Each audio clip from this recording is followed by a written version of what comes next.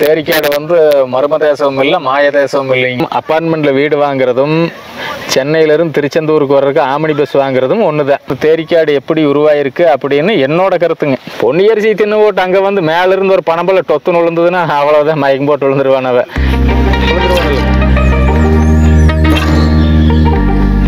வணக்கம் மக்களே.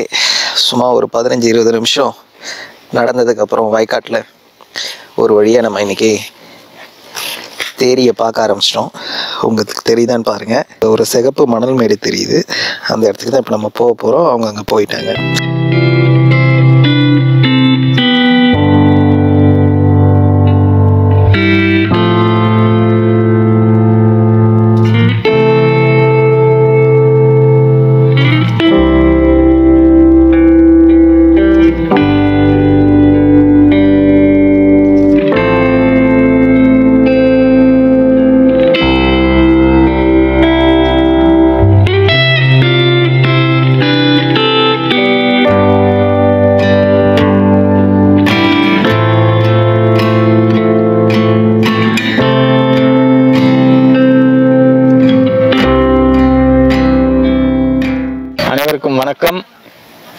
இன்னைக்கு நம்ம சாத்தான்குளத்துக்கு பக்கத்தில் இருக்கிறோம் தமிழ்நாட்டில் இருந்து அதாவது வந்துங்க தூத்துக்குடி மாவட்டத்தில் ரெண்டு தேரிக்காடு இருக்குது. ஒன்று வந்து திருச்செந்தூர் கிட்ட இருக்கிற தேரிக்காடு அது பெருசு. இது வந்து ஒரு சின்ன தேரிக்காடு. இப்போ இந்த தேரிக்காட்டை பற்றி நண்பர் சொல்லுங்க ப்ரோ இந்த தேரிக்காட்டை பற்றி சொல்லுங்கள் இது எந்த ஊரில் இருக்குது? இந்த- தேரிக்காடு வந்து பாத்தீங்கன்னா சாமி தோப்புல இருக்கு. இந்த ஊர் பேர் வந்து சாமி தோப்பு. அதுக்கு பின்னாடி தான் இருக்கு.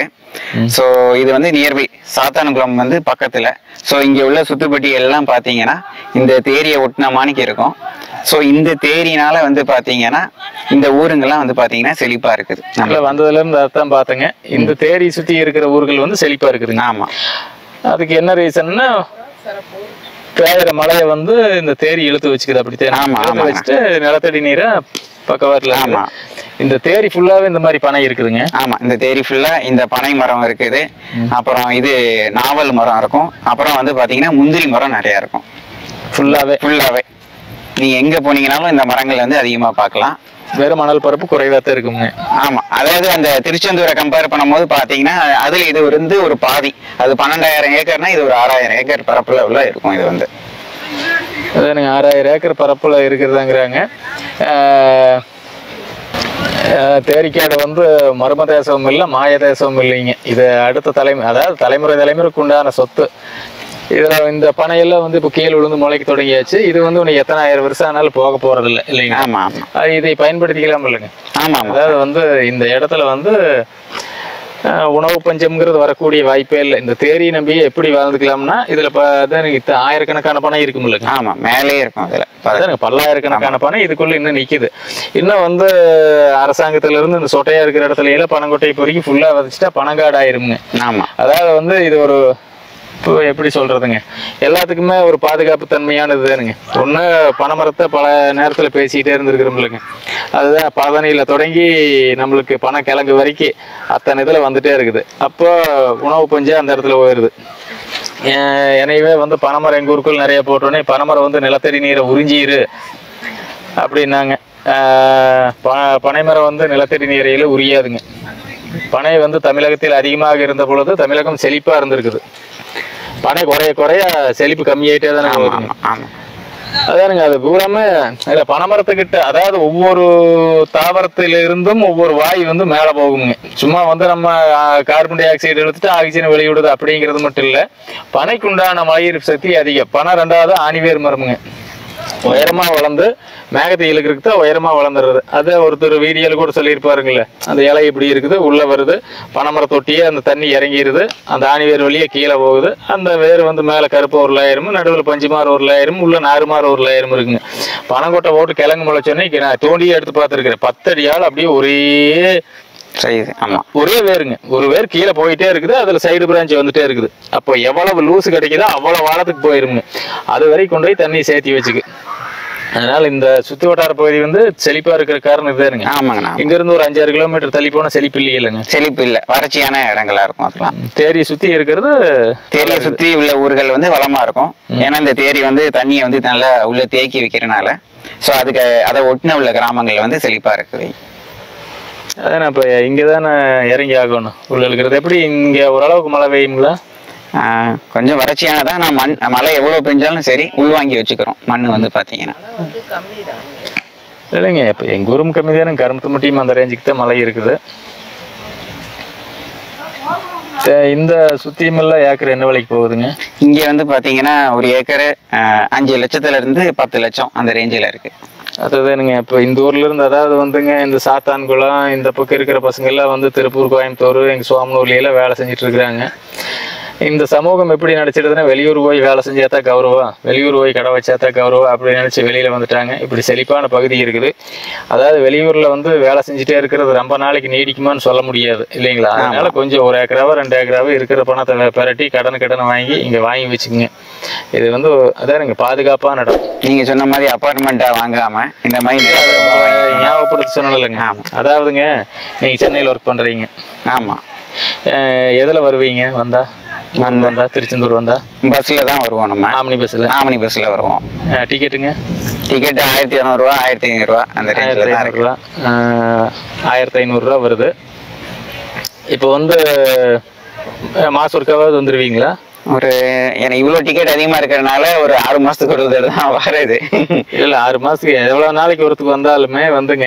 அடிக்கடி வந்துட்டு போறோமே ஆம்னி பஸ்ல ஆமா. அப்படின்னு சொல்லி போட்டு ஒரு பஸ் வாங்க முடியாதுல்லைங்க. ஆமா இப்ப ஆமா. எல்லாத்துக்கும் நல்லா கேட்டுக்குங்க. எப்படி அங்க சென்னையில இருந்து இங்க திருச்செந்தூர் வர்றதுக்கு ஆம்னி பஸ் சொந்தமா வாங்க முடியாதா? டிக்கெட் ஒரு ஐநூறுரூவா கூட கொடுத்தா வந்துடலாம் அதுக்கு வேண்டி பஸ் வாங்க முடியாது. அதே மாதிரி தான் இன்னைக்கு ஏதோ போய் பெங்களூரு சென்னை எல்லாம் செட்டில் ஆயிருக்கிறான். அங்கேயே அப்பார்ட்மெண்ட் வீடு வாங்கி இருந்துக்கலாம் அப்படின்னு நிறைய பேர் முடிவு பண்ணி வீடு வாங்கியிருக்கிறாங்க வாங்கணும்னு நினைக்கிறாங்க. இல்லைங்களா? ஆமா ஆமா ஆமா.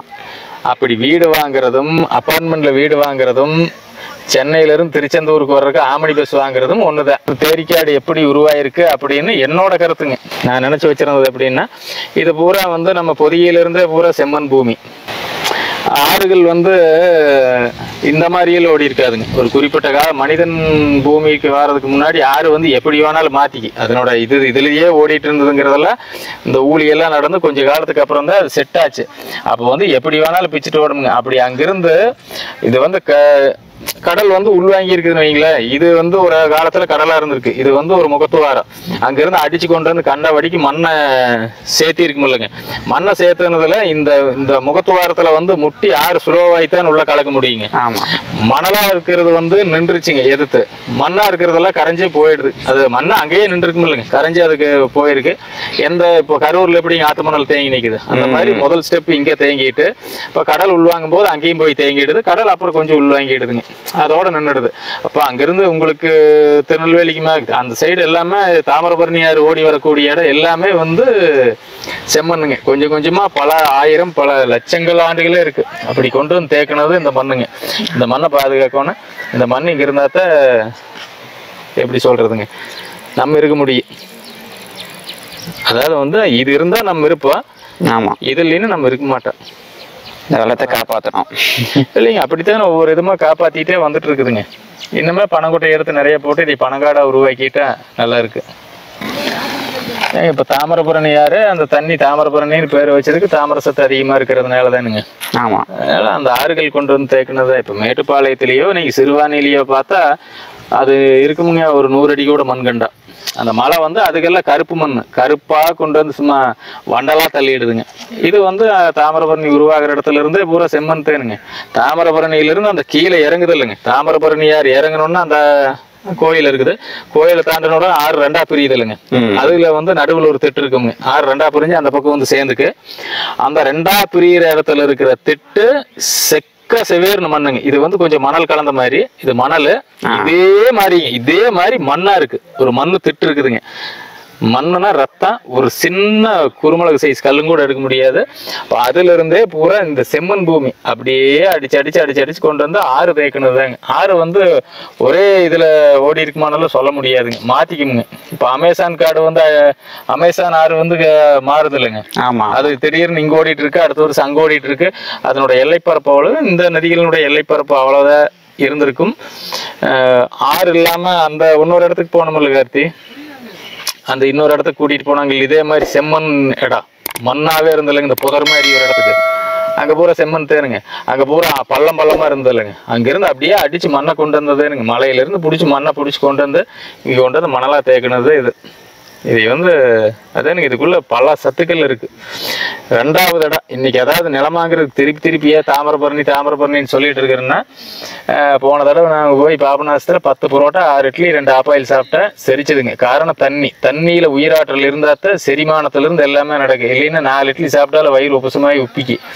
அதனால தான் தாமிரபரணியில் போய் அவங்க இதெல்லாம் உங்களுக்கு இருக்கிறதுலையே ரெண்டாவது இடம். சிறுவாணி முதலிடம் சிறுவாணி வந்து பேரூர் வரைக்கும் இன்னைக்கு ஒழுக்கமாக இருக்குதுங்க. அது கிழக்கு வரும்போது எல்லாம் சாக்கடை கலந்துருது. இந்த ஆறுலையும் கலக்குது. இருந்தாலும் கொஞ்சம் மேக்கையில சுத்தமாக தான் இருக்குதுங்க அதனால அவங்க அவங்க ஊர்ல வந்து இருந்துக்கலாம். நீங்க எப்படியாவது கஷ்டப்பட்டு கடனாவது வாங்கி இந்த மக்கள் எல்லாம் அங்க இருக்கிறாங்க. சாத்தான்குளம் இந்த பக்கம் இருக்கிற மக்கள் வெளியூர்ல தானே இருக்கிறாங்க. ஆமா ஆமா. அதாவது இந்த தலைமுறை இருக்கு. இதே வந்து ஒரு எத்தனை வருஷத்துக்கு தாக்கு பிடிக்கும்னு தெரியல. அதிகபட்சமா ஒரு அஞ்சுங்கிறதே என்னோட கணக்குங்க. அதுக்குள்ள இங்க ஒரு நிலத்தை ரெடி பண்ணி வச்சுக்கணுங்க. டக்குன்னு வந்து உட்காந்துட்டா வேலை முடிஞ்சுது.